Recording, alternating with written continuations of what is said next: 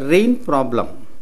When rain is falling, if we travel, if we ride on a vehicle, then even though the air is the rain is falling vertically, it appears as though it is falling at some angle with the vertical.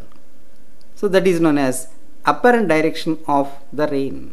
This apparent direction changes with the speed with which we travel horizontally. Let us try to understand this with using vectors.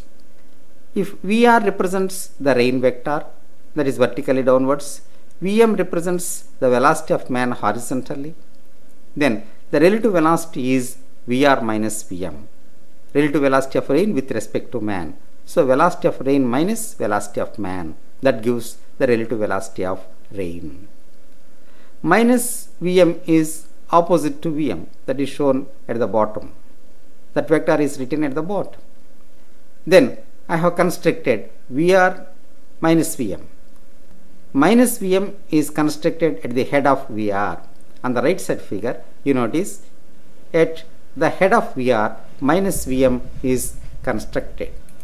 The vector from the tail of Vr to the head of minus Vm, the inclined vector is the relative velocity vector. The relative velocity vector. If it is making an angle theta with Vr, if it is making an angle theta with Vr, then tan theta is equal to Vm by Vr.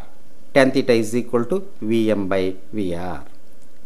In the form of vectors, we can write V relative is equal to Vr minus Vm. Relative velocity mathematical form is V relative is equal to Vr minus Vm. Remember that V relative, Vr, Vm are all vectors.